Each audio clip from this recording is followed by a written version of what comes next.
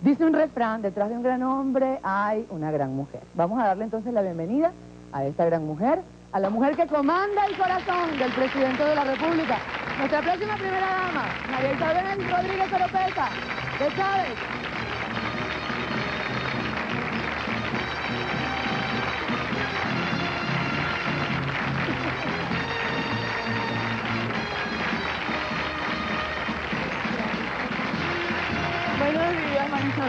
Ay, Dios mío, gracias. Recibe este aplauso en vivo y en directo a través de la Cámara de Benevisión. El aplauso de quienes hoy representan al pueblo de Venezuela en primera fila. Tu amiga, tu mamá con los ojos llenos de brillo, llenos de lágrimas que se traducen en amor, en respaldo, esas lágrimas que inmediatamente se te contagian y que vemos brillar en esos ojos verdes, intensos, hoy más intensos que nunca, porque están llenos de amor, de emoción, supongo también que de agradecimiento y de una gran responsabilidad, Marisabel. Respira profundo, siéntate, ponte cómoda y recibe este aplauso.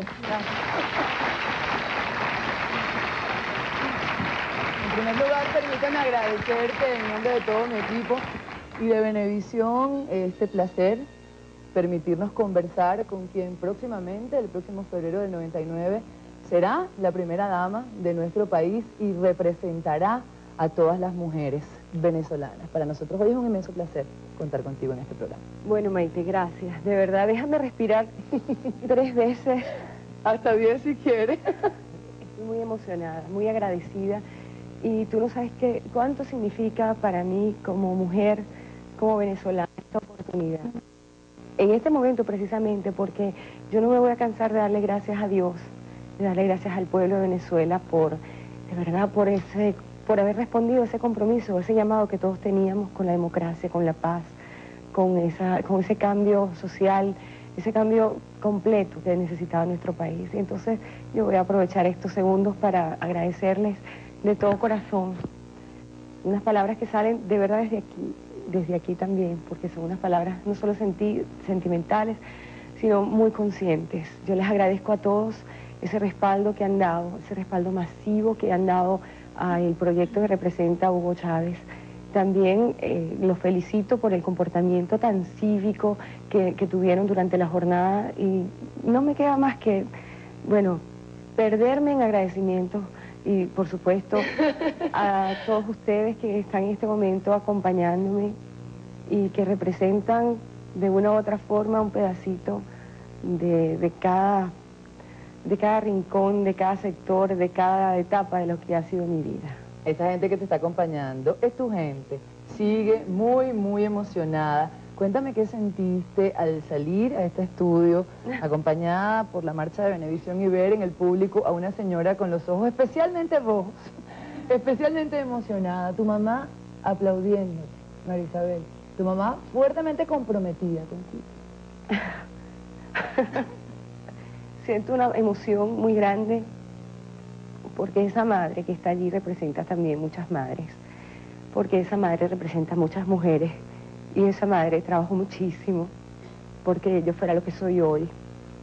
Y yo quisiera devolver a través de, de lo que yo pueda hacer por otras madres en Venezuela lo que ella hizo por mí. Y bueno, quisiera ah, pues poder ayudar a dignificar a eso, a dignificar la vida de muchas mujeres en Venezuela. ¿Cómo ha sido esa relación entre la Marisabel hija y doña Carmen Oropesa, a quien le damos la bienvenida, tu mamá? Muy linda. De, de infancia fue un poco accidentada porque mami tuvo que trabajar para, pues como muchas mujeres, como para sacar adelante la familia. Sí, entonces mami no me dejaba en manos extrañas. Entonces quien me cuidó y me crió conjuntamente con ella fue mi abuelita, Josefa, que ya no está en, el, en este plan, ya no está en la tierra, pero yo sé que que estuviese ahorita compartiendo esta dicha. Seguro. Estoy segura de eso. ¿Qué habría dicho tu abuela tal día como hoy? Lo hizo, se salió con la suya. sí, no, pero mi abuelita también sembró en mí unos valores muy especiales. Mi abuela fue una mujer, una, una merideña. Yo recuerdo que le cantaba mucho esa canción con el cuatro, linda mujer, preciosa merideña. Una mujer de carácter muy fuerte, sí. Preciosa merideña. Entonces yo, yo le cantaba esa canción. Es una, fue una mujer muy dulce, fue una mujer muy, muy recia, muy... carácter. Con un carácter, con un temple. Mira, yo le decía que era gomera. Sí. usted gomera. ¿Aprendiste eso de tu ella, ella tenía detrás de la puerta. Claro, supongo que desde la crianza de mi papá y mis tíos y mi tía. Bueno, con mi tía tampoco lo usó.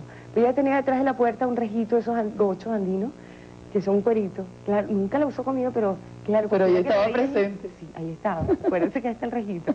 Y yo le tenía más miedo a que mi abuelo en cualquier momento pudiese utilizarlo.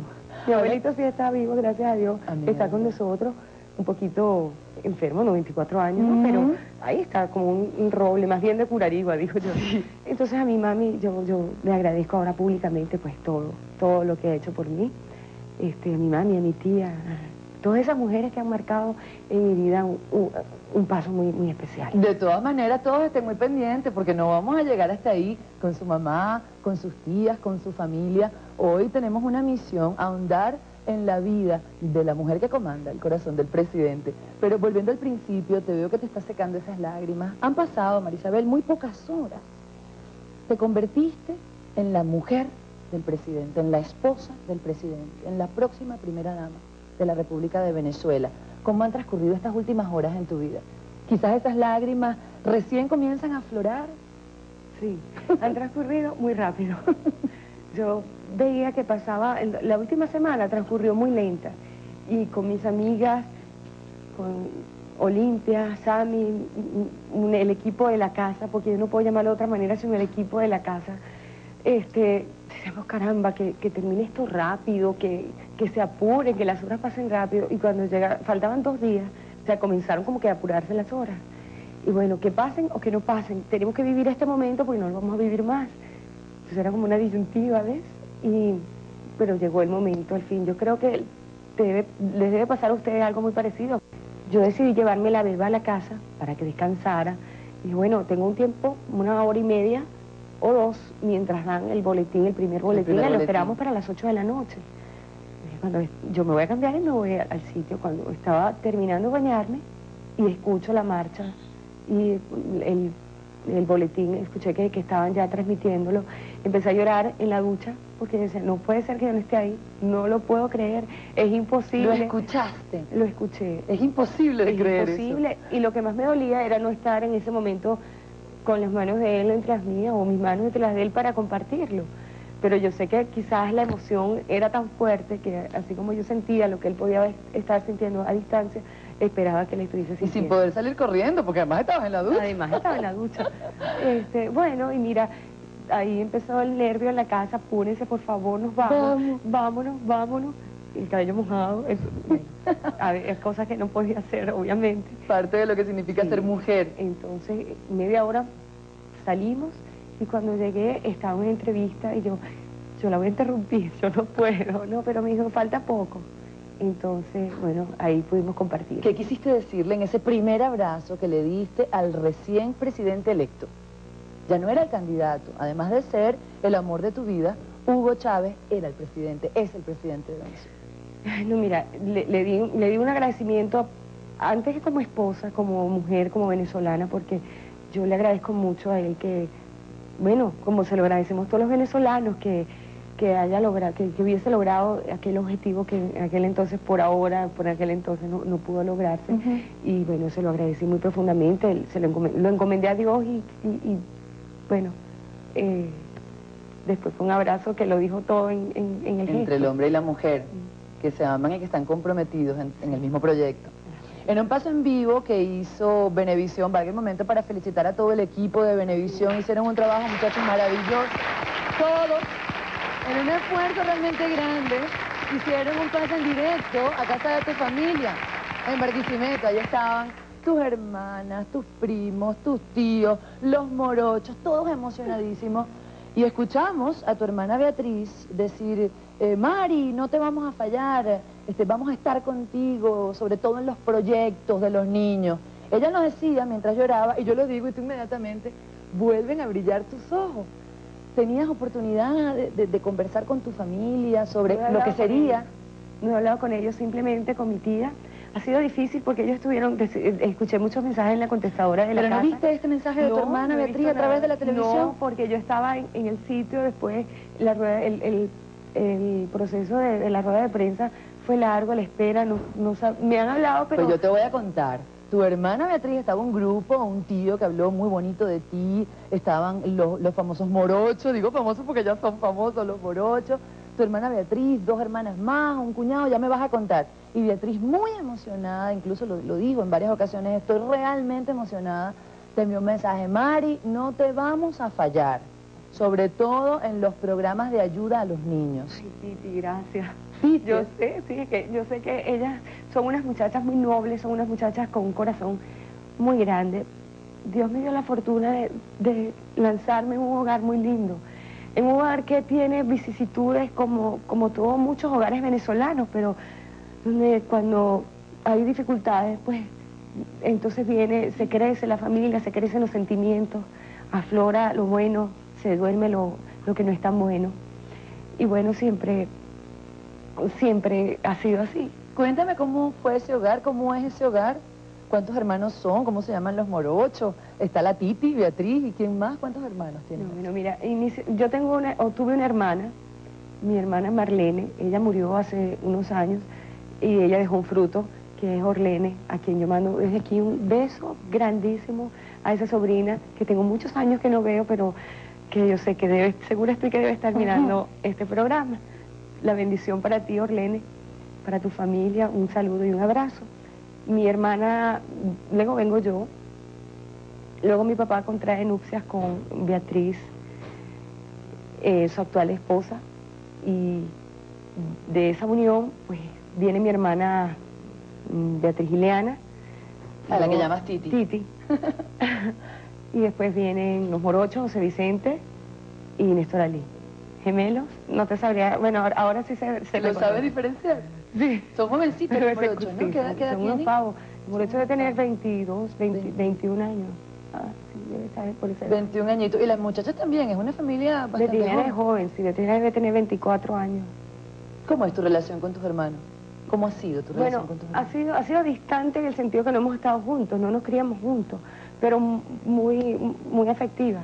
Y a lo largo de todo este proceso, en el que has trabajado muy fuerte este año, que ha sido tan fuerte, cuál ha sido el consejo de tus hermanos, cuál ha sido la participación de tus hermanos. Nos llamó mucho la atención oír a Beatriz que te decía, no te vamos a fallar, vamos a estar pendientes contigo, sobre todo en el proyecto de los niños. Planeaban cosas juntas. Sí, bueno, ella en su ella en su medio, Titi es una niña artesana, es una artista, baila flamenco desde que tiene dos años y medio.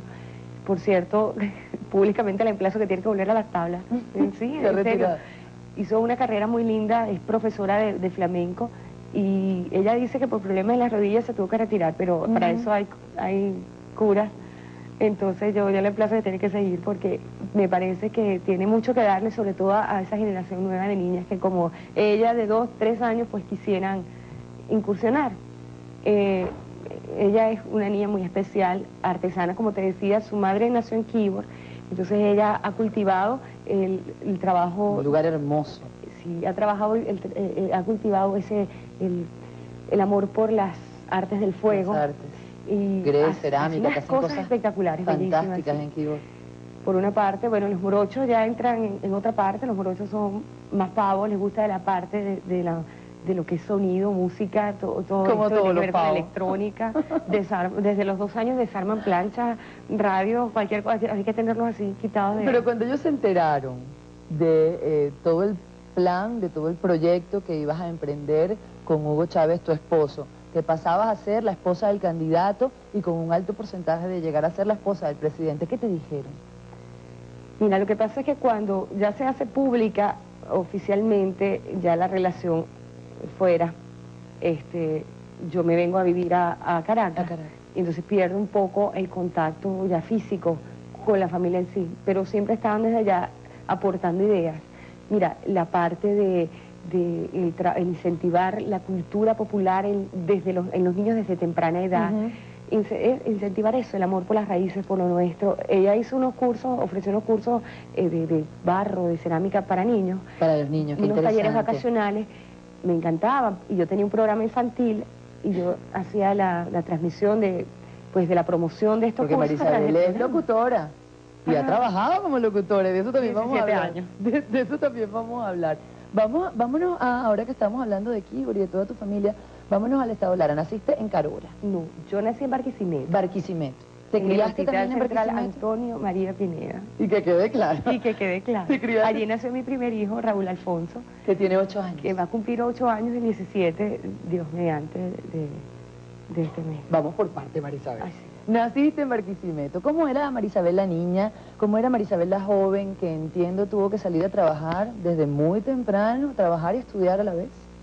Sí, bueno, prácticamente una chica muy normal, una niña muy, muy normal, pero muy marcada por esa por ese antecedente que te hablé al principio del programa, una abuela muy estricta, sumamente estricta, también la tía que ayudó, que colaboró mucho, en, muchísimo, no digo en parte, eso fue una trilogía, un triángulo de, Qué suerte, tres mamás. Tres mamás, sí, claro. Entonces, imagínate, lo que me soltaba una, mi mamá me daba un poquito de libertad, pero mi abuela la agarraba, mi tía era el intermediario, o sea, fue una relación muy bonita. Pero, bueno, ¿qué, te puedo decir? Desde muy temprana edad, o sea, yo, yo pinto o, o trataba de pintar, entonces hacía cuadros y le decía, mami, mami, véndeme los cuadros. Hice una exposición en el, en el liceo, en el Lisandro Alvarado, donde estudié. ¿Vendiste? ¿Vendiste cuadros? ¿Qué edad, ¿Qué edad tenías? No, yo empecé a pintar desde los nueve años, desde los nueve años. Muy niña. Muy pequeña, pero comencé con las canvas predibujadas y eso era, eso era facilísimo. Entonces eso me, me dio, me, me, me, aproximó mucho al trabajo con los colores y con la perspectiva y todo eso. ¿Y a qué edad recibiste tu primera compensación económica, digamos, el primer pago por un trabajo. Creo que a los 12 años. Dentro de las artes, a los 12 años. ¿Y qué tal se sintió eso? Yo no sé qué debe estar sintiendo la persona que compró el cuadro. debe estar muy conmovido. de adolescente, Marisabel, ¿qué te gustaba? ¿Con qué soñabas? Yo fui una, una niña muy normal, como te dije anteriormente, pero tenía unos sueños muy extraños. ¿Cuáles eran tus sueños? Por ejemplo... Eh, yo estuve en la banda de guerra, en la banda seca de Lisandro Alvarado, una de las cosas. Y un día venimos acá a Caracas a tocar frente al Panteón. Yo todavía conservo las fotos. Mira, para mí aquello me sentía así como que estaba haciendo algo, pero supremamente importante, muy grande, ¿no? Imagínate tú, las vestida con un traje semimilitar y tocando la lira y me sentía grandísima. ¿Eras una muchacha introvertida, extrovertida, idealista? ¿Cómo es? Idealista. Introvertida, no, yo creo más bien fue, mi abuela decía, usted es muy salida. usted es muy salida. Usted es muy salida, sí, siempre el usted porque nosotros nunca, nunca en la casa perdimos esa, esa parte, siempre fue usted. Y dice, usted, esta niña es como una cabra, Dios mío, ¿cómo, cómo le gusta estar aquí y allá? Pero fíjate, con todo lo fuerte que era cuando le dije, abuelita, yo me quiero, mm, yo quiero entrar, a, le enseñé un recorte que, salió en el Nacional, si yo quiero entrar a la cuestión de la madrina de los cardenales de Lara, y yo se lo, dije así como, yo, se, lo, se lo pedí presumiendo que me iba a decir que no. Pues mira, mi sorpresa inmensa, cuando me dijo, bueno, ¿qué se necesita? Y yo, ¡Ah! e inmediatamente busqué, mire, una foto así, asado y tal, y lo vamos a llevar a la avenida Vargas. Dice acá, atención, señor Eli de J. Roja, y pues con responsable aquí, vamos a inmediatamente... ¿Y tu abuela fue tu primera fanática? Ella, fuimos a, sacar la fotografía esa tarde, y al día siguiente la fuimos a hacer la inscripción, ella mi representante, y bueno, imagínate tú, eso sirvió para que yo entrara luego en un mundo fascinante, me gustaba mucho el béisbol, aunque no lo entendía mucho, pero igual me encantaba y había jugadas que yo no sabía si estaba yo, eh, eh, no sabía a veces, estaba, desde que estaba pequeña no sabía si iba, estaba yendo al, equipo que era, ¿no? Digamos, vivía la emoción que, que me llenaba mucho. Entonces, bueno, ya volviendo al, día, al momento de la, de la cuestión en sí, del, del año de, la elección, del día de la elección, eh, ella fue mi, mi pilar fundamental, por cierto, no, también mi mamá. Mi papá, si estaba bueno, bueno, si mamá va a ir, ok, pero serio, como los no me gustó mucho, sí, sí, muy serio. Entonces, pero claro, él muy fanático también de béisbol y de los Cardenales, pues desde adentro decía, a lo mejor era, para que no me la miren mucho, ¿no? Fuiste madrina de los Cardenales de Lara. Se te van a poner celosos los demás equipos. No, no, Hoy tienes no, que ser madrina de todos los equipos del béisbol venezolano. No, ahora pudiese ser madrina del equipo que vaya a la serie del Caribe, de verdad. No, y ahora nos ha tocado a Hugo y a mí pues compartir este, la emoción del béisbol con todos los equipos de, de Venezuela. Pero el Y presidente ha confesado ser magallanero. En la casa hay dos gorras, Magallanes y Cardenal. Y la primera Pero dama- ahora habrá una que es la gorra de Venezuela. La primera dama sigue en el corazón con los Cardenales de Lara. Claro, lamentablemente este año no hemos podido ir a ningún juego. Este, ya ojalá podamos ir por lo menos al, a la- al juego de a alguno de, de estos de la serie, no sé, ojalá. Eres locutora, Marisabel, y tomando en cuenta que también eres fanática del béisbol, ¿es verdad que te gustaría alguna vez narrar? ¿Te hubiera Eh, allí- gustado allí narrar un partido? Cuando entré a la cuestión de los cardenales, hubo una receptividad muy linda por parte de los circuitos radiales, de quienes recuerdo con mucho afecto, mucho gusto a Musiu, eh, que Dios lo tenga en la gloria. Sí. Un, un cariño extremo le tengo. Conservo todavía dos libros de anotaciones de, de juegos que me regaló. Y, y a sus hijos, a Marcos Vinicio, le, le envío un gran saludo, mi, mi A respeto. toda su familia. A toda su familia, sí, a todos, por igual a su esposa, a sus otros hijos, a toda su familia.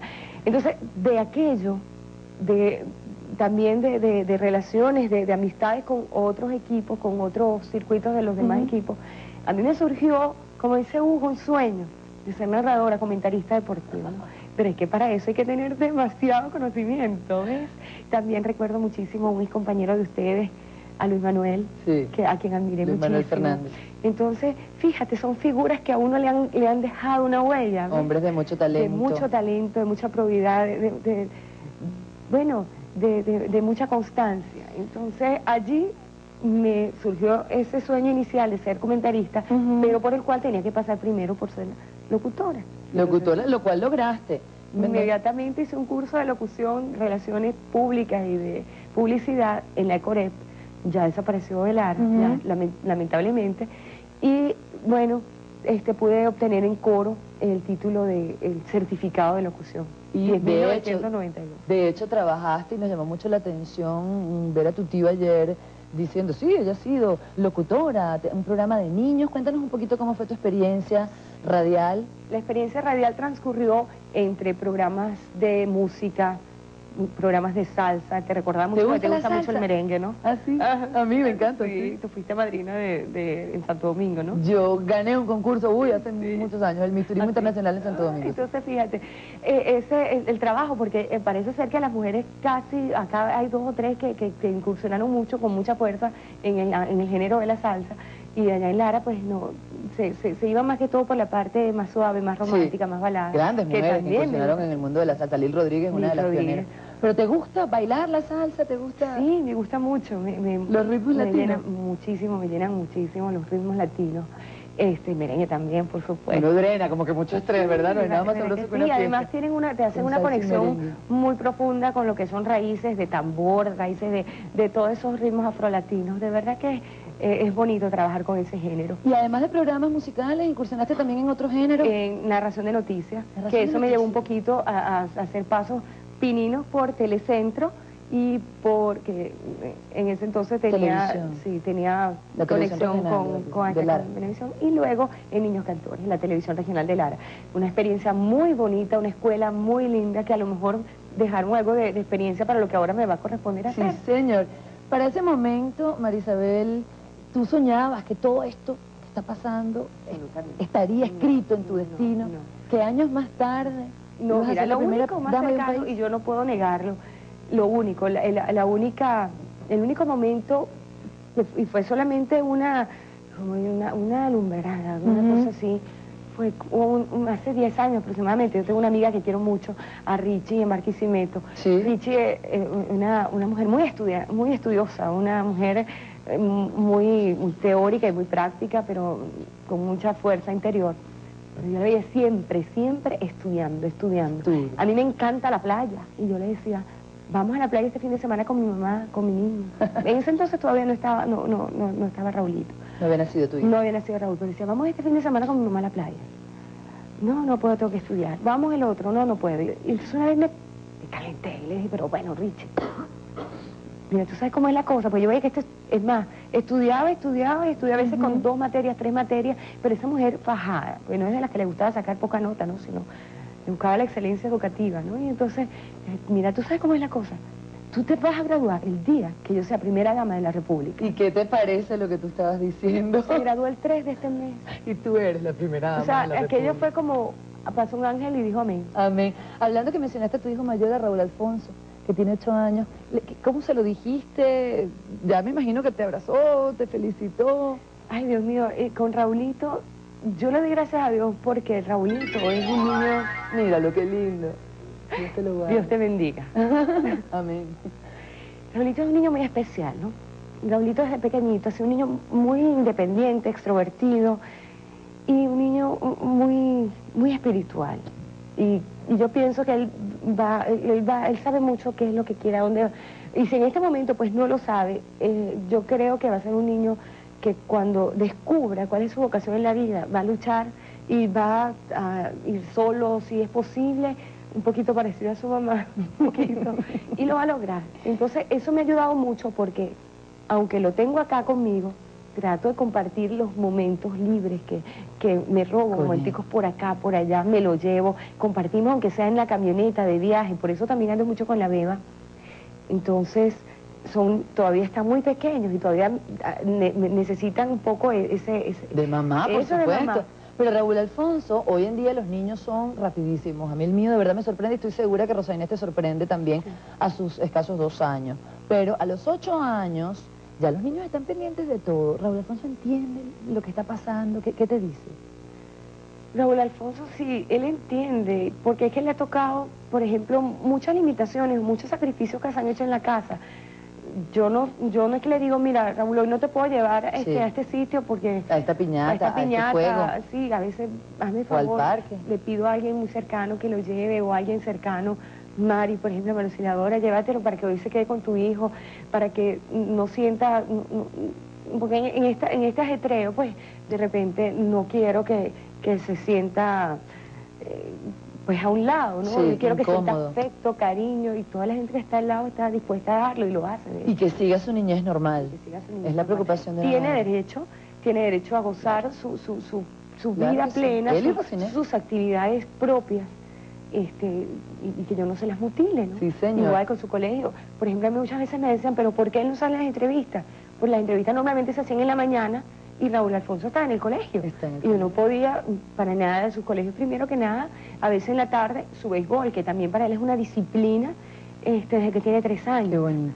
Entonces, él es un chico, un niño independiente. Y yo me imagino que cuando tú lo acompañas a una clase de béisbol o a un partido de béisbol y ves que tu hijo atrapa una bola o batea, te olvidas de todo lo demás. Sí, ahí soy fanática, fan número uno de él y me olvido del resto y me, me salgo un poquito como que situación para meterme en esa situación específicamente. Permíteme, Marisabel, darle la bienvenida a nuestro estudio, a nuestro programa, a los eh, flamantes padres de nuestro nuevo presidente de la República, a los suegros de nuestra primera dama, al maestro Hugo de los Reyes Chávez, gobernador electo del Estado de Barinas, y a doña Elena, madre y padre de nuestro nuevo presidente.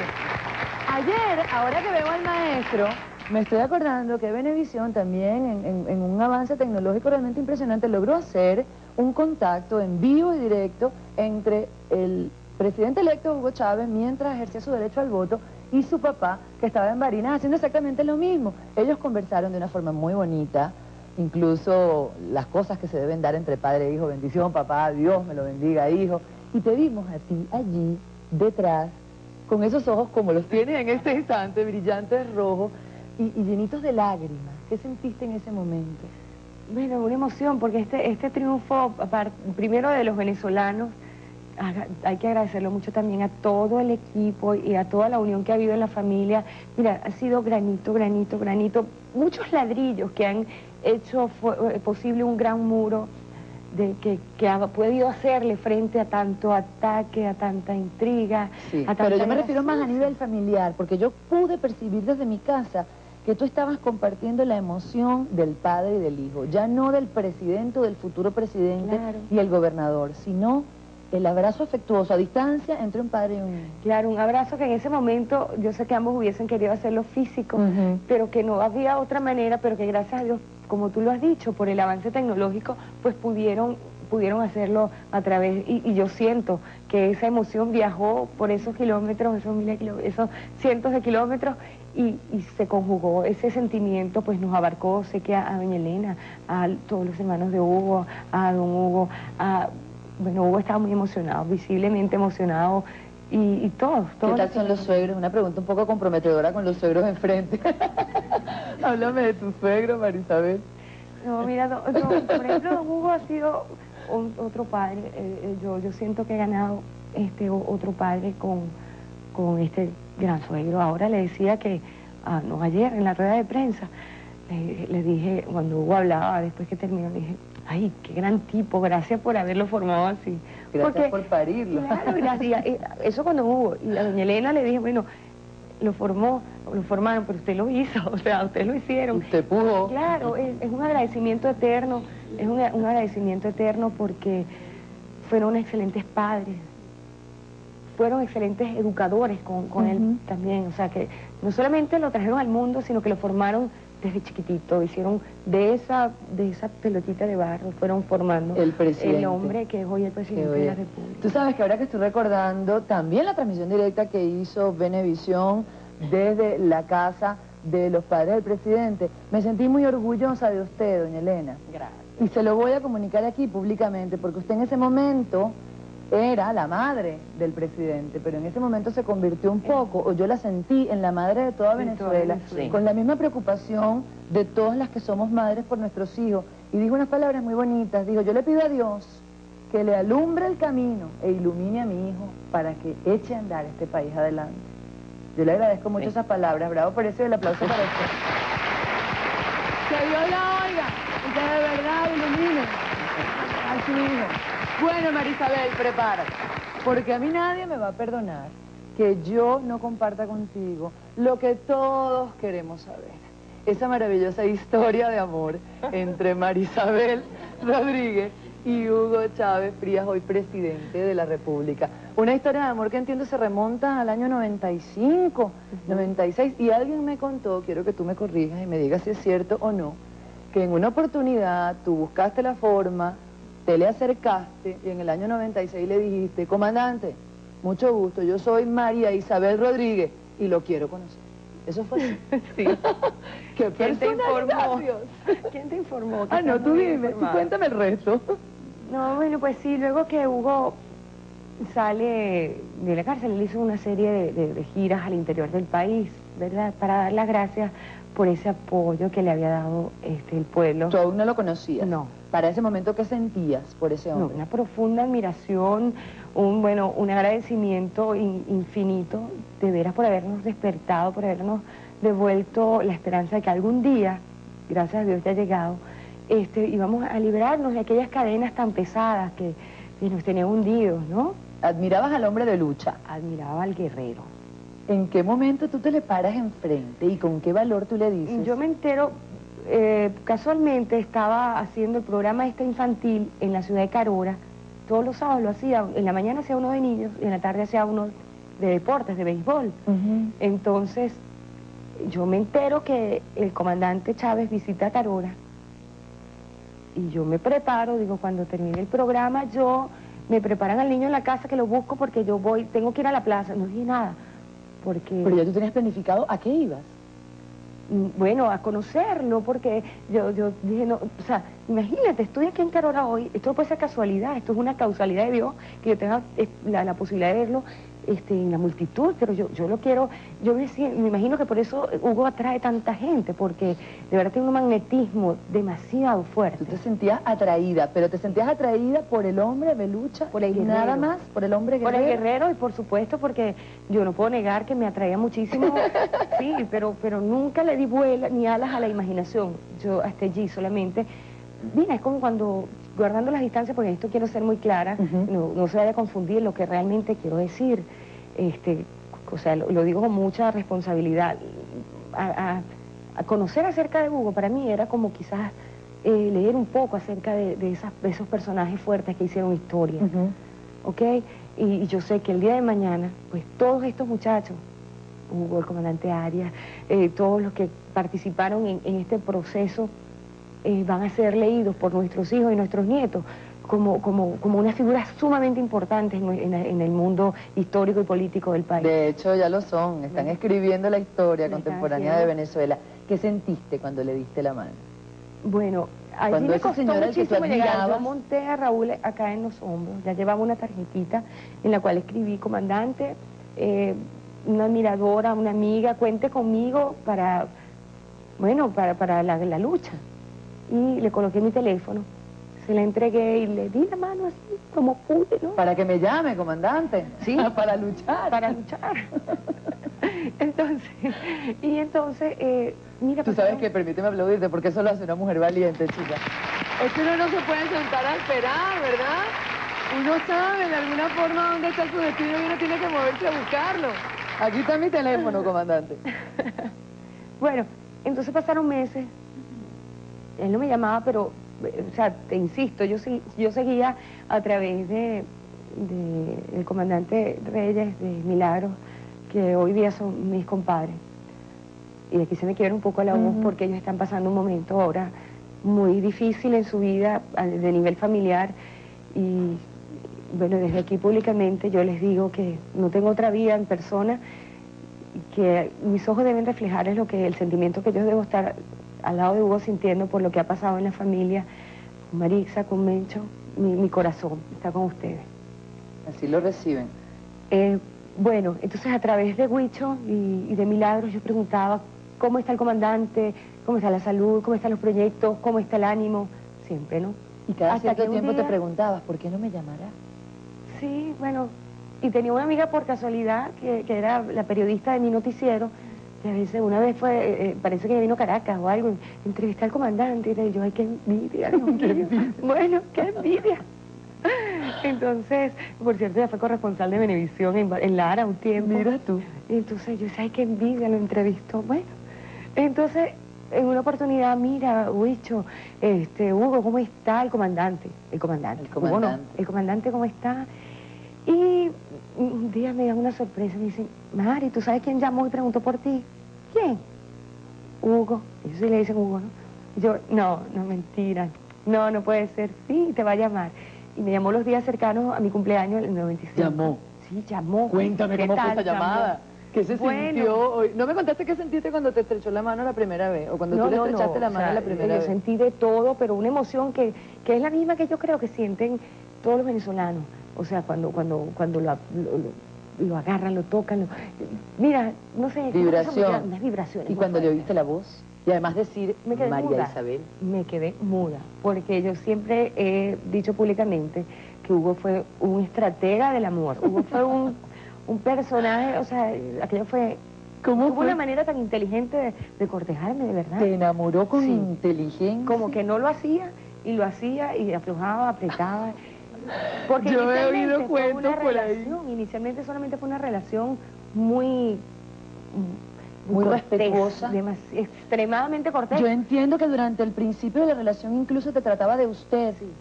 Y según me contaron, esas conversaciones giraban en torno a la prosa sentimental de Bolívar. Sí, porque por casualidades de la vida, una vez me llama y me dice, ¿y qué haces, Isabel? ¿O qué está haciendo ahorita? ¿Qué está haciendo ¿Qué está haciendo? Y yo le digo, no, comandante, estoy, mire, casualmente leyendo un libro de Manuela Sáenz, mujer eh, republicana. Ajá no me diga, ¿sí? Estoy leyendo una carta. Entonces, él me, cita un verso de una carta de Bolívar a Manuela. Y bueno, tú te puedes imaginar la emoción que a mí me dio. Yo empecé a hablar rapidito porque me estaba muy emocionada. y, claro que me gusta. Y a partir de ese momento, siempre en las conversaciones telefónicas, pues tratábamos de, conversar un poco acerca de aquello. Para ese momento... Un día, eh, Hugo me dice, pues yo le decía, bueno, patriota, y amiga de usted. Así yo me despedía.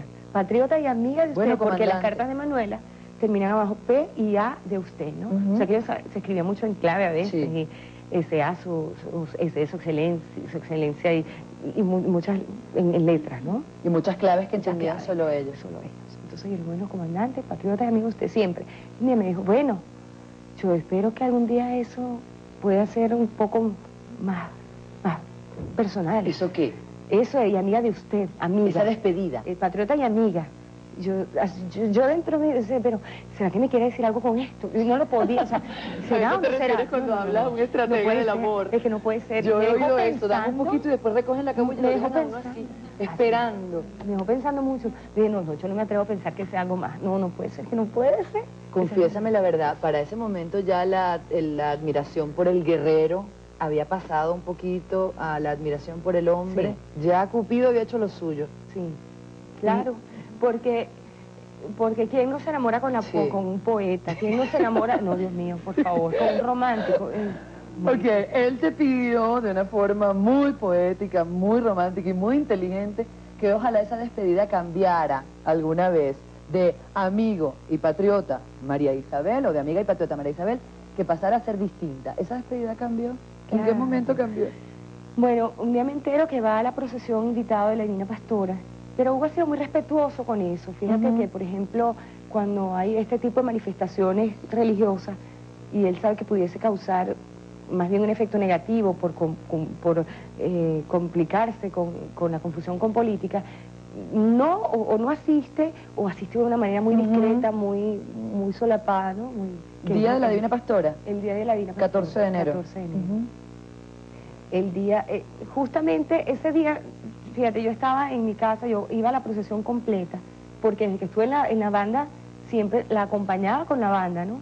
Luego la acompañaba como, como fiel en, la procesión completa. Devota. Sí, como devota. Y después, este, como trabajadora.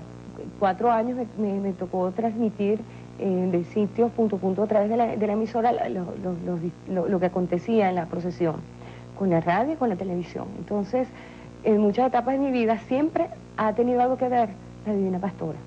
Luego, él ese día exactamente me pidió que, los disculpara con los medios de comunicación con los que les habíamos conseguido entrevistas, porque me dijo, mira, la verdad es que no, no creo que sea prudente porque no quiero que se confunda, pero yo voy a ir el día 15 para que le demos gracias por acompañarte, la visitamos, y bueno, ese día entonces yo lo utilicé para hacer unas actividades comunitarias y le dije, bueno, Divina Pastora, este, yo voy a hacer hoy algo por mi comunidad. Este, y aprovecho para saludar a, toda esa gente linda que me apoyó tanto desde mi sitio de residencia materna. Y entonces yo le pedía dentro de mí, ay Virgen, yo he tenido muchos logros profesionales, yo he tenido logros personales, pero, y estoy bien, estoy en un trabajo bien, o sea, pero yo te pido ¿será que, tú me puedes dar algo más, una señal de algo más que yo pueda hacer? Pero nada en el plano sentimental, de verdad que no. Yo pedía, yo decía, bueno, ahorita el país está pasando por una situación tan difícil, ¿será que yo como comunicadora puedo hacer algo más? ¿Será que yo como, como ciudadana puedo hacer algo más, más útil? Fíjate tú, me oyó bastante. Sí, ¿no? Imagínate tú. El día siguiente vino al programa de José Israel, un, un amigo de Barquisimeto, y yo simplemente pasé eh, la, calle porque la, televisora queda frente a mi casa y allí de nuevo este, nos encontramos y, bueno, ahí ya, ya, ya, ya, había comenzado una relación toda la química toda la química y la física y la, la química y la física a funcionar, sí. Mira, cómo me lo pone difícil. sí, la parte, ya, ya, había, ya la empatía había hecho su trabajo, la química, Sí, la física, ya había habido, ya, teníamos pues ya tiempo... Una relación. Una relación de amistad consolidada. Ese día se consolidó la amistad, la, relación ya amorosa. ¿Ese día se hicieron novios? Ese día nos hicimos novios. ¿Ese, día cambió la despedida? Definitivamente. ¿Cómo fue la despedida de ese día? Patriota y amante de usted. Patriota y amante de usted. Yo decía ayer cuando veía a Marisabel acompañando a su esposo y tan comprometida con este proyecto, que es que definitivamente las mujeres de hoy, y digamos que tú hoy en día representas, nos representas a todas las mujeres venezolanas, luchadoras, trabajadoras, capaces, y ahí, como, como se dicen yo, palos de mujeres al lado de nuestros maridos. Representas a esa mujer de hoy, a esa mujer que es guapa, a esa mujer que es valiente y esa mujer que va tras lo que considera suyo. Una cosa es sentarse a esperar, ojalá se pudiera, pero a veces no lo ven a uno. A veces uno tiene que hacer señas y decir, yo soy la mujer. Y otra cosa es luchar con muchísimo esfuerzo por lo que queremos lograr y por lo que estamos seguras forma parte de nuestro destino. A partir de ese día comenzó una hermosa relación entre Marisabel y Hugo. Muy tranquilo, muy, muy sosegado, porque cuando el amor le llega a uno a esta edad, sí. Es algo muy lindo, porque es algo maduro, es algo ya muy consciente, es algo muy especial. Tú dices que admiraste y sigues admirando al hombre luchador, al guerrero, al trabajador, pero que el que te enamoró realmente fue el Hugo artista, como tú lo llamas, el Hugo pintor, el Hugo poeta. el, Hugo, guerrero, escritor. Yo le admiro muchísimo porque cuando tú vas a la guerra por amor, este, es, algo como, pareciera dual, pero no. No, mira, es, estar dispuesto a sacrificarlo todo, lo que tienes, lo que eres, por una causa. Eso es eso es algo extraordinario. Yo creo que eh, eso es algo, algo que eleva muchísimo el espíritu de, la gente. Háblanos un poco, Marisabel, sobre esa faceta artística en la vida del comandante, en la vida de nuestro presidente. Una faceta que no todos conocemos. El Hugo pintor, el Hugo poeta, el Hugo romántico, el Hugo que prepara desayunos, que cocina. No, no los prepara. ¿No? No. ¿No es hábil en la cocina? Yo me imagino que Mamelena lo debe haber enseñado a cocinar, ¿no? No, cocina. No. Pero tiene otras virtudes. Sí. Puede que me cante mientras yo estoy cocinando. sí. Hablando de cantar, ¿es verdad que ustedes componen juntos, que él escribe canciones para ti y tú las tocas en cuatro y las cantas? No, si hay coincidencia que yo conozca alguna, la melodía, se la interpreto y él la canta. Este, sí, afortunadamente, mira, es que la vida nuestra Claro, nos tocó vivir esto tan intensamente, tan rápidamente, pero afortunadamente Dios como que nos tenía muchas coincidencias anteriores preparadas. Fíjate, hay algo que a mí me llama poderosamente la atención. Cuando yo comienzo a entrar en el mundo del béisbol en Lara, yo trabajo precisamente en mi programa de béisbol en, en Carora con Ricardo Santeliz. Le doy un abrazo. Ricardo es hermano del fallecido, pero de, aquel personaje que todos recordamos, Carlos Alberto Santeliz, ¿ok? Una figura prominente del béisbol nacional que coincidencialmente se nos marchó físicamente, pero se quedó dentro de nosotros y se marchó a un viaje largo con un ser que Hugo Chávez también había admirado desde niño, que fue el látigo Chávez. Entonces imagínate, se marchan juntos se marchan a ese viaje sin retorno. Y eran dos figuras que sin pretenderlo, imaginar nunca, ya él admiraba por su lado y yo por el mío. Se marchan con, con otras personalidades. Pero fíjate tú, lo importante que es, yo comienzo a, yo comencé a hacer eh, eh, a escrutar, a buscar historia del béisbol, porque para trabajar en aquel programa tenía que estar bien documentada, aunque la parte fuerte de la CIA era Ricardo. Este, pero fíjate, comienzo a, indagar acerca de la vida de, estos personajes, primero los que salieron de Lara, y, entonces de Carora eh, específicamente. Y entonces, fíjate, me encuentro con esta parte de la historia, cuando conozco a Hugo y me, me, me meto en el mundo de Hugo, entonces también Hugo tiene esa, esa, esa peculiaridad. Esa inquietud, cuando tú reflexionas sobre estas cosas que les han pasado, de alguna forma sientes que han estado conectados siempre, que estaban como predestinados, él para ti y tú para él. Pero quizás sí, no, yo, no lo, yo no lo he, eh, eso no, no, lo he reflexionado así de esa manera.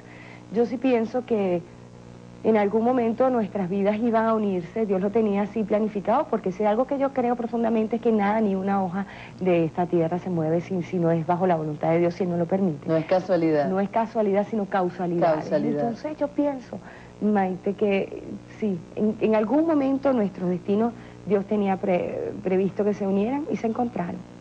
Volviendo a las artes, es verdad que nuestro presidente escribió un poema al cual tú le pusiste música e hicieron entre los dos una hermosa canción. Se llama Rosinés. Se llama Rosinés. Como una hermosa niña que también hicieron juntos. Ese es el poema.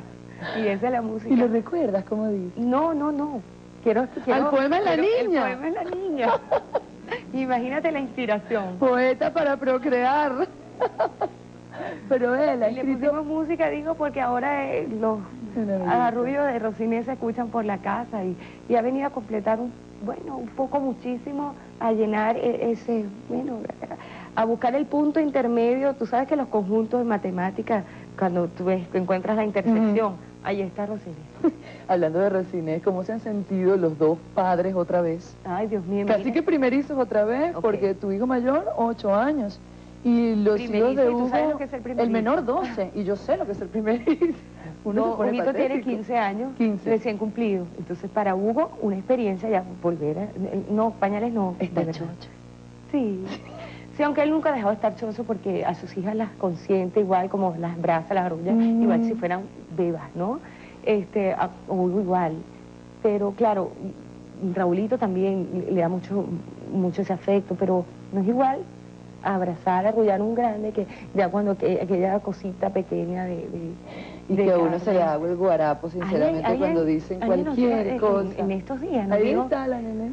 no hay nada, no hay nada que dé más seguridad y estabilidad en la vida que olfatear, oler el cuello de un bebé. Sí, es verdad. Aquello te da una sensación no, indescriptible e inenarrable. Y de los bebés oler también el cuello, el olor muy particular de los padres. sí, ello- eso, eso es cierto. Ahora que hablas de Rosinés, que hablamos de los hijos de nuestro presidente y que hablamos también de tu primer hijo, de Raúl Alfonso, me acuerdo del nombre de una famosa película, Los tuyos, los míos y los, Y los nuestros. nuestros. ¿Cómo es la relación entre los hijos del presidente Rosa Virginia, María María Gabriela, Gabriela, Hugo Rafael. Hugo, Hugo Rafael y de tus, hijos, de tus hijos Raúl Alfonso y de la que tienen en común, Rosa Inés? Mira, ha sido, lo que pasa es que nosotros, antes que ser familia presidencial, somos una familia de seres humanos, ¿verdad? Ha sido un poco difícil amalgamar la experiencia de que los padres divorciados converjan ahora en una familia. Sobre todo los que venimos de hogares divorciados, tenemos la experiencia que es un poco difícil Sí. aquello, sobre todo cuando no ha habido el suficiente tiempo y la suficiente comunicación para, para, para estrechar los lazos, para, para, para estrechar e- esa, esa, esa relación. Entonces, pues yo, yo soy hija de padres divorciados. Yo sé que es muy difícil, sumamente difícil, aparte de la, del papel que representa Hugo, que como lo ha dicho él infinidades de veces, lo ha dicho en público, no se pertenece a la familia, a los padres, a los hijos, a la esposa, se pertenece a un pueblo, a una Sí. nación que lo reclama, que reclama que se entregue el ciento por ciento. Entonces, claro, eso no quiere decir que él no está con nosotros, ¿no? Pero no está con nosotros lo que quisiera quizás estar. Y ahí es donde viene la parte nuestra, la responsabilidad nuestra, como el entorno de él, de hacerle la vida. Creo que llegó alguien. Llegaría De hacerle la vida. Yo conozco eso. ¿Tú conoces Yo conozco eso. De hacerle la vida más placentera, hacerle la vida más grata a ese hombre que en la calle está dando su vida Digamos que estamos frente a una situación en la que se requiere un poquito más de amplitud. por ambas partes. Nosotros hemos hecho muchos programas al respecto, yo comparto contigo esa sensación, también soy hija de padres separados. Y uno va como que con cierta carga, pero en, en muchas oportunidades hemos hecho programas al respecto y nos hemos dado cuenta que abriendo un poquito el corazón, ah, ampliando eh, quizás nuestros límites, podemos llegar a tener un- una relación bonita, así como dice la película, con los tuyos, los míos y Digo, los pero nuestros. afortunadamente, o sea, Hugo tiene unas ideas que son maravillosas. Que incluso uno lo hizo abuelo. Muy, muy, muy grande. María Gabriela es poeta, como lo estaba. Mira, mira quién es, mira el poema.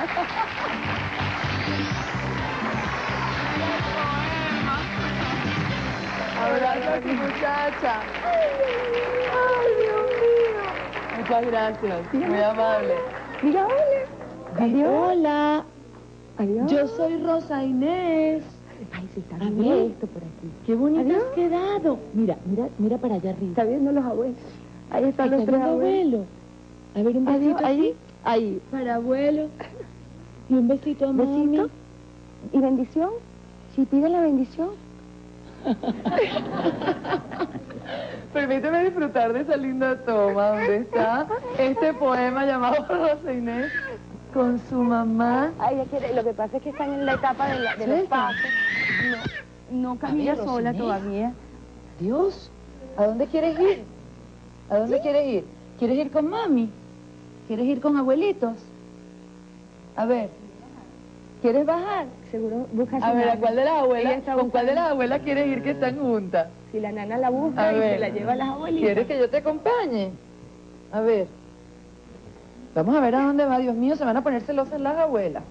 Porque ella sola lo va a decidir. Yo solamente la voy a acompañar. Rosiné, piensa bien lo que vas a hacer. Hay dos abuelas. Mira, ¿vamos a ir con abuelita? ¿O vamos a ir con mamá de nuevo? ¿Con quién quieres ir? ¿Con quién? A ver, ¿te vas a sentar? Con mami. A ver, vamos de nuevo con mami. Bueno, yo le dije, Rosa Inés, piensa muy bien lo que vas a hacer y ya lo pensó. Yo creo que esta niña merece un aplauso. Ella prefirió devolver. ¡Bien! ¡Bien! Adiós. Muy bien, yo en tu lugar habría hecho... Yo en tu lugar habría hecho exactamente lo mismo. Qué bonito. Están pasando muchas cosas en tu vida, muchas cosas grandes, muchas cosas importantes, tan grandes y tan importantes como esta maravillosa niña. Así es. Bendiciones.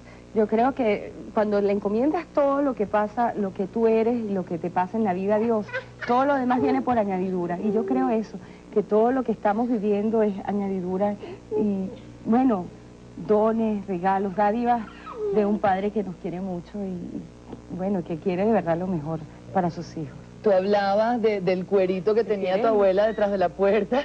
Sí. Escuchábamos a doña Elena, ya va con carácter de hija de presidente, caray. Tú hablabas del cuerito que estaba tras la puerta de la casa de tu abuela y que Doña Elena no tenía esos cueritos. no sé, y que representaba de alguna ¿No? forma la ¿Usted autoridad. no tenía esos cueritos, doña Elena? Yo leí ¿Cuál en una ocasión eh, unos cueritos que usted no tuvo nunca esos en casa. Cuando mis hijos estaban pequeños sí la tenía. Pero seguro que no lo usaba, pero le decía, ahí está el cuerito. La usaba. cuerito.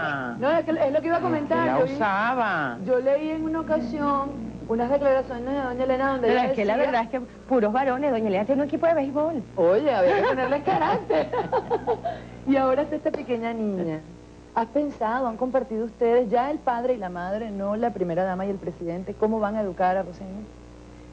Bueno, mira, la preocupación por la educación de Rosiné no solamente es por la, eh, la educación de Rosiné. Ahí viene ya como un aspecto, ya viene una preocupación tan grande, porque es pensar que la educación que queremos para Rosiné la desearíamos, la desearíamos para todos los niños de Venezuela. Una educación que sin distingo si es privada, es pública, que debería ser por derecho del ser humano, gratuita y obligatoria para todos los niños. Y eso es lo que vamos a tratar de que ocurra. Este, el que quiera pues pagar, que pague, pero la educación per se debe ser gratuita y obligatoria para todos los niños. Entonces a nosotros nos gustaría que cada niño en Venezuela pudiera llegar a, a tener una educación digna, de altísima calidad, Sí. indistintamente si es una educación oficial o privada. Ya que estamos hablando eh, de todas las cosas que, que tienen que ver con las funciones de una primera dama, de la educación de los niños, ¿has pensado hasta este momento cuáles serían tus prioridades en la agenda de, de la primera dama? Mira, hay una que es intrínsecamente ligada a, a lo, a lo que es Hugo, a lo que él representa. Anoche lo decía ante las cámaras, él siendo presidente no podría estar tranquilo, o nunca podrá estar tranquilo, eh, mientras haya niños en la calle. ¿ok? Nuestra misión con respecto a la infancia es tratar de, de ubicar cada niño, o sea, que, que no haya, no, no hay derecho a que en un país como el nuestro, con tantos recursos, pues no hay derecho a que tengamos niños en la calle. Pero es problema de educación, es problema de cultura, es problema de falta de sensibilidad Sí. y es problema de falta quizás de, de algunas políticas de Estado reales para que eso de una vez por todas eh, pues baje ese, ese- esa cifra y a lo mejor no vamos a llegar a disminuirlas a cero porque quizás es una tarea eh, utópica, ¿no? Pero sí comenzar a sí, hay que que ya es importante. Porque es que no se está haciendo nada y las cifras aumentan y aumentan. Le- Y lo que tú oyes de ese millón de niños en la Sí. calle es que a la vuelta de 10 años van a ser 10, a lo mejor delincuentes, Mm. va, va a incrementar la prostitución infantil, va a incrementar la delincuencia, va a incrementar, bueno, la cantidad de personas que van a ser desempleadas, porque si no te preparas, ¿cómo vas a, adaptar a, un, empleo? Es la preocupación de nuestra próxima primera dama por los niños. Leí en una oportunidad que también hablabas sobre la ley de adopción, sobre la reforma de la ley de adopción. Nosotros hemos hecho en muchas oportunidades programas donde es impresionante la cantidad de gente que desea adoptar un niño y que moral, moralmente y económicamente están capacitados para hacerlo y realmente es un proceso que se dificulta muchísimo. Por mucha burocracia. Por todo lo que existe. Nos gustó mucho leer eh, esa intención de tu parte, limpiar un poquito todo eso, borrar y hay tanta burocracia. capacitada, Maite, que yo sé que estaría de acuerdo y promovería y, lucharía muchísimo por conseguir una reforma a esa parte legal en la cual el proceso sea más corto porque no solamente que sea más fácil, porque tú puedes, te pueden quizás decir, bueno, ah, como las planillas estas del RAP de vehículos o como la autoliquidación, eso es lo más fácil, ¿no?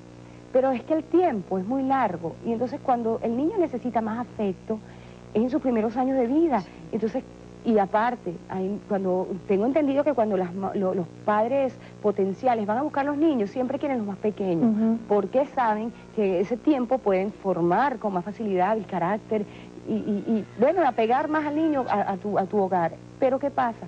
Los que ya están grandecitos se van quedando sin chance. Sí.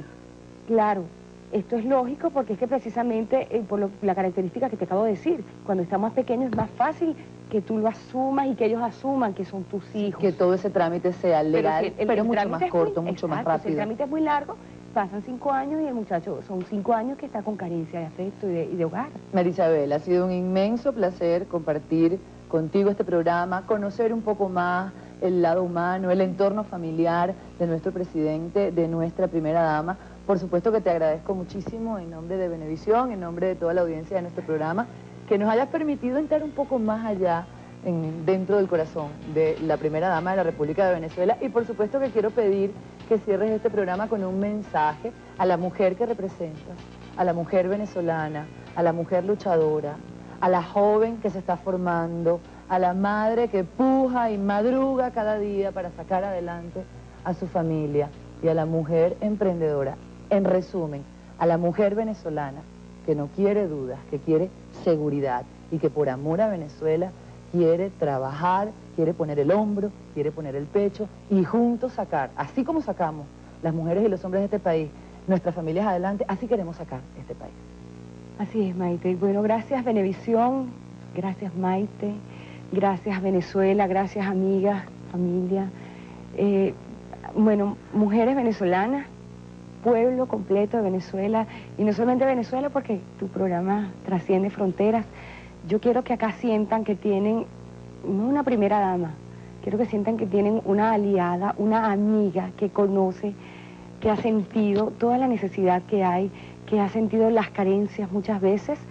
Y quiero que sepan que por, por ese mismo camino transitado, por esas mismas dificultades que he vivido, estoy muy curtida y estoy muy dispuesta a entregar el alma, el cuerpo, las acciones para ayudarlas, para poner un poquito de, de dejar un poquito de Marisabel en Venezuela, dejar un poquito de Marisabel en lo que pueda ser la transformación de este, de este país tan hermoso, tan grande, que requiere de concurso de todos los venezolanos, de todas las venezolanas, que requiere... Es nuestra primera dama, pero también es la mamá de Rosiné, que cada vez que Rosiné la ve, empieza a hacer cualquier clase de sonido. Vamos, a, Vamos a despedirnos hasta, hasta ahorita, hasta siempre hasta, bueno, hasta siempre. Yo te voy a decir lo mismo que te dije cuando te recibí esta mañana. A lo largo de todo este proceso, a lo largo de todo el trabajo que hizo nuestra gente, Benevisión, siguiendo muy de cerca lo que estaba pasando. Yo creo que todas las mujeres venezolanas nos sentimos identificadas contigo en este instante. Nadie tiene color, en este instante nadie tiene partido. Todos estamos vestidos de Venezuela y apoyamos y respetamos a quien llevará adelante la bandera de la mujer venezolana. Gracias. Toda la suerte del mundo. Un beso y mi compromiso. Como dijo la mamá del presidente, que Dios te ilumine el camino. Y que haga realidad todos los sueños que tú y tu tienen para nuestro país. Amén. Gracias por estar con nosotros. Gracias a ustedes. Gracias. Bien. Gracias. Hasta la próxima.